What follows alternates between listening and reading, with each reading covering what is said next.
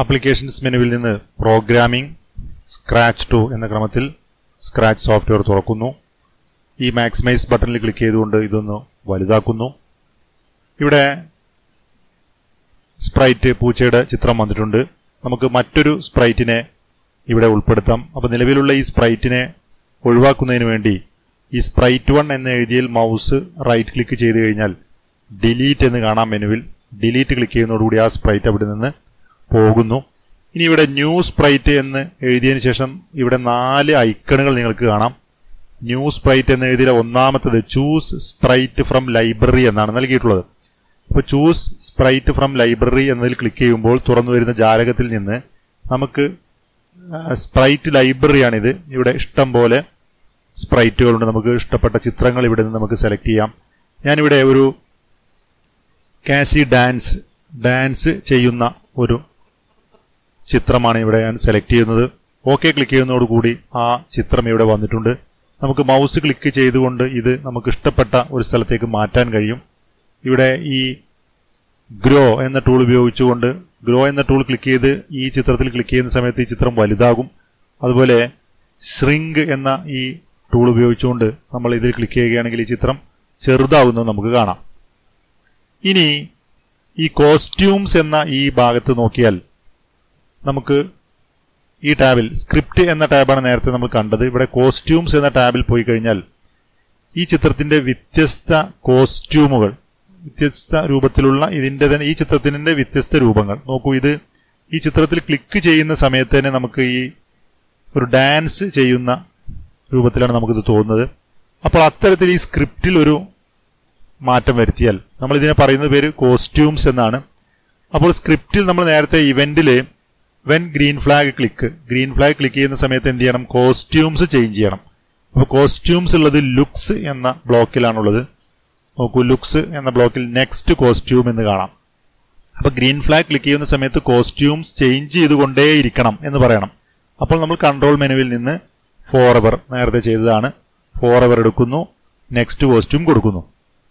നോക്കൂ ഇനി നമ്മൾ ഗ്രീൻ ഫ്ലാഗ് ക്ലിക്ക് ചെയ്യുന്ന സമയത്ത് വളരെ വേഗത്തിലാണ് ഇവിടെ കോസ്റ്റ്യൂം ചേഞ്ച് ആവുന്നത്. അപ്പോൾ നമ്മൾ കുറച്ച് സമയം അനുവദിക്കണം വെയിറ്റ് ചെയ്യണം അല്ലേ? ഇപ്പോൾ ഞാൻ ഈ ഈ വെയിറ്റ് സ്ട്രിപ്പ് എടുത്തു ഇവിടെ ചേർക്കുന്നു. അപ്പോൾ നമ്മൾ വെയിറ്റ് വൺ സെക്കൻഡ് എന്നൊരു കോഡ് ഇവിടെ ചേർത്തു. ഇനി ഇത് പ്ലേ ചെയ്യുന്ന സമയത്ത് ഒരു സെക്കൻഡ് കഴിയുമ്പോഴാണ് അടുത്ത കോസ്റ്റ്യൂം വരുന്നത്. നമ്മൾ ഈ കോസ്റ്റ്യൂംസ് എന്ന ടാബിൽ പോയി കഴിഞ്ഞാൽ നമുക്ക് ഈ കോസ്റ്റ്യൂം മാറുന്നത് ഇവിടെ ലൈവായിട്ട് തന്നെ കാണാൻ കഴിയും. നമുക്ക് ഈ സ്റ്റോപ്പ് ബട്ടൺ അമർത്തി ഇതൊന്ന് നിർത്താം. ഇതിന്റെ സമയം നമുക്കൊരു പോയിന്റ് ഫൈവ് സെക്കൻഡ് എന്ന് നൽകാം.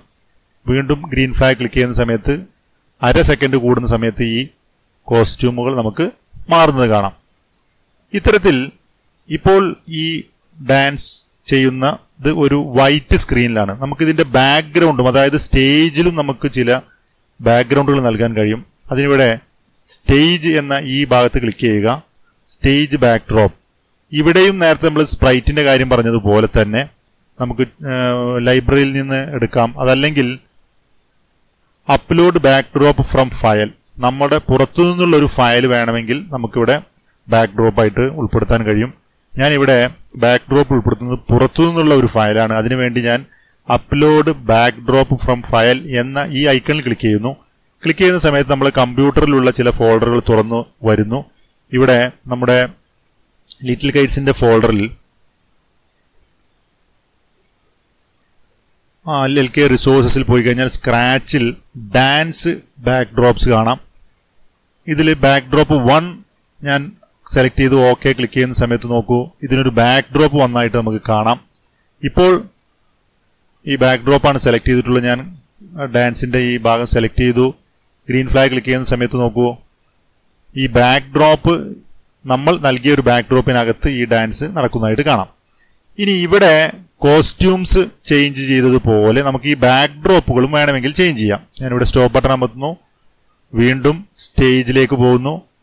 സ്റ്റേജിലേക്ക് പോയി നേരത്തെ ഇവിടെ ഒരു വൈറ്റ് ബാക്ക് ഡ്രോപ്പ് ഉണ്ടായിരുന്നു. അത് ഞാൻ ഇവിടെ ക്ലോസ് ഇവിടെ ഇപ്പോൾ രണ്ട് ബാക്ക് ഡ്രോപ്സ് ആണുള്ളത്. ഈ വൈറ്റ് ബാക്ക് ഡ്രോപ്പ് ഞാൻ ഈ ക്ലോസ് ബട്ടൺ അമർത്തി ക്ലോസ് ചെയ്യുന്നു. ഇനി ഇവിടെ നമുക്ക് ഇനിയും ചില ബാക്ക് ഡ്രോപ്പുകൾ ഉൾപ്പെടുത്താം. ഏതുപോലെ? നമ്മൾ നേരത്തെ ഈ ചിത്രത്തിന് പല കോസ്റ്റ്യൂംസും കൊടുത്തതുപോലെ തന്നെ നമുക്ക് ഈ സ്റ്റേജിന്റെ ബാക്ക് ഡ്രോപ്പുകൾ നമുക്ക് ഉൾപ്പെടുത്താം. അതിനുവേണ്ടി ഇവിടെയാണ് ക്ലിക്ക് ചെയ്യേണ്ടത്. Upload back drop from file എന്നത് ഇവിടെ ക്ലിക്ക് ചെയ്യുക. ക്ലിക്ക് ചെയ്തതിന് ശേഷം രണ്ടാമത്തേതും കൺട്രോൾ കീ അമർത്തി മൂന്ന് നാല് അഞ്ച് ആറ് എന്നിങ്ങനെ സെലക്ട് ചെയ്യാം. അതല്ലെങ്കിൽ ഓരോന്നോരോന്നായിട്ട് സെലക്ട് ചെയ്ത് നമുക്ക് ഇതിനകത്തേക്ക് ഉൾപ്പെടുത്താം. ഓക്കെ ബട്ടൺ ക്ലിക്ക് ചെയ്യുന്നു. ക്ലിക്ക് ചെയ്യുന്നതോടുകൂടി ഈ ഭാഗത്തേക്ക് അവ വരുന്നത് കാണാം. ഇവിടെ വന്നിട്ടുണ്ട്. അപ്പോൾ ഇവിടെ ആറ് ബാക്ക് ഡ്രോപ്പുകളാണ് ഇപ്പോൾ ഇവിടെ നൽകിയിട്ടുള്ളത്. നമ്മൾ നേരത്തെ ഈ ഡാൻസ് ചെയ്യുന്ന കുട്ടിക്ക് നൽകിയ ഇത്തരത്തിലുള്ള ഒരു കോഡ് തന്നെ നമുക്ക് എന്ത് ചെയ്യാം? ഈ ബാക്ക് ഡ്രോപ്പിനും നൽകാം. അതിനുവേണ്ടി ബാക്ക് ഡ്രോപ്പ് സെലക്ട് ചെയ്യുന്നു. ഇവിടെ സ്ക്രിപ്റ്റ് തന്നെയാണ് വേണ്ടത്. Event when green flag clicked green flag click ചെയ്യുന്ന സമയത്ത് എന്ത് സംഭവിക്കണം? എല്ലാ സമയത്തും ഫോർ എവർ എല്ലാ ടൈമിലും എന്ത് ചെയ്യണം? ഈ ബാക്ക്ഗ്രൗണ്ട് ലുക്സിൽ പോയി കഴിഞ്ഞാൽ നമുക്ക് നോക്കൂ ലുക്സിൽ പോകുന്ന സമയത്ത് ഇവിടെ നെക്സ്റ്റ് ബാക്ക് ഡ്രോപ്പ് എന്ന് പറയുന്നു. നമ്മൾ നേരത്തെ നെക്സ്റ്റ് കോസ്റ്റ്യൂം ഇവിടെ നെക്സ്റ്റ് കോസ്റ്റ്യൂം കോസ്റ്റ്യൂം എന്നാണ് പക്ഷെ ബാക്ക്ഗ്രൗണ്ടിനെ സംബന്ധിച്ചത് ബാക്ക് ഡ്രോപ്പ് എന്നാണ്. അപ്പൊ ഞാനിവിടെ നെക്സ്റ്റ് ബാക്ക് ഡ്രോപ്പ് എടുത്തിട്ടു. നേരത്തെ ഇതിൽ നമ്മൾ ഡാൻസ് ചെയ്തതിൽ നമ്മൾ പോയിന്റ് ഫൈവ് സെക്കൻഡ് കൊടുത്തതുപോലെ തന്നെ ഈ സ്റ്റേജിന്റെ ഇതിലും നമുക്ക് എന്ത് ചെയ്യാം? കൺട്രോളിൽ പോയി കഴിഞ്ഞാൽ ഒരു പോയിന്റ് ഫൈവ് സെക്കൻഡ് എന്ന രൂപത്തിൽ കൊടുത്തു കഴിഞ്ഞാൽ ഇനി നമ്മൾ ഇത് റൺ ചെയ്യുന്ന സമയത്ത് ഇതിന്റെ ബാക്ക്ഗ്രൗണ്ടും മാറിക്കൊണ്ടിരിക്കും. നോക്കൂ ബാക്ക്ഗ്രൗണ്ടും മാറുന്നത് കാണാം. ഇവിടെ ബാക്ക് ഡ്രോപ്സ് എന്ന ടാബിൽ ക്ലിക്ക് ചെയ്ത് കഴിഞ്ഞാൽ ഏത് ബാക്ക്ഗ്രൗണ്ടാണ് വരുന്നതെന്ന് ഇവിടെ ഇങ്ങനെ മാറി മാറി പോകുന്നത് നമുക്ക് നേരിട്ട് കാണാവുന്നതാണ്.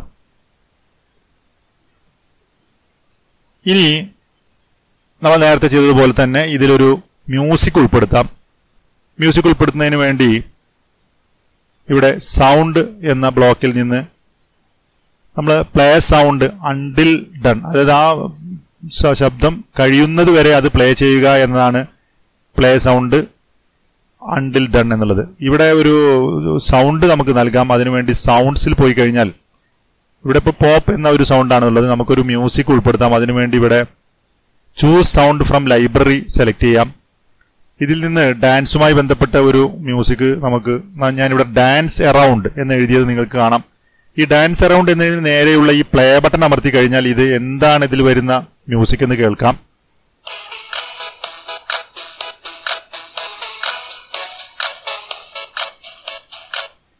ഓക്കെ അപ്പോൾ ഈ മ്യൂസിക്കാണ് നമുക്ക് വേണ്ടതെങ്കിൽ ഡാൻസ് അറൗണ്ട് എന്നാണ് ഇതിന്റെ പേര്. ഇത് ഞാൻ സെലക്ട് ചെയ്തു.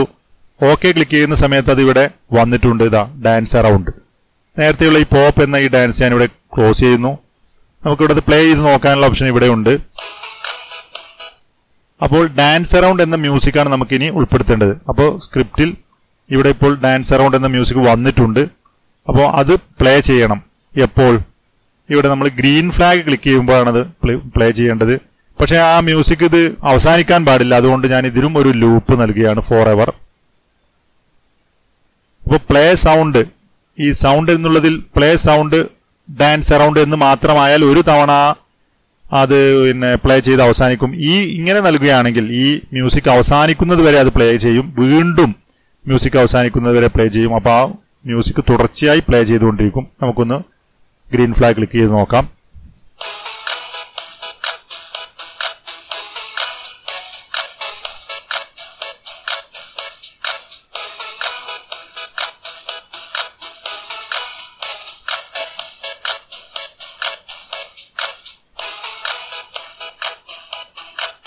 അപ്പോൾ ഓരോ തവണ മ്യൂസിക് കഴിഞ്ഞതിന് ശേഷം അടുത്ത മ്യൂസിക്കിലേക്ക് പോകുന്നത് നിങ്ങൾക്ക് മനസ്സിലായിട്ടുണ്ടാവും. ഈ പ്രവർത്തനം ഡാൻസ് പാർട്ടി വൺ എന്ന പേരിൽ നമുക്കൊന്ന് സേവ് ചെയ്യാം. അതിനുവേണ്ടി ഫയലിൽ സേവ് ക്ലിക്ക് ചെയ്യുന്നു. ഇവിടെ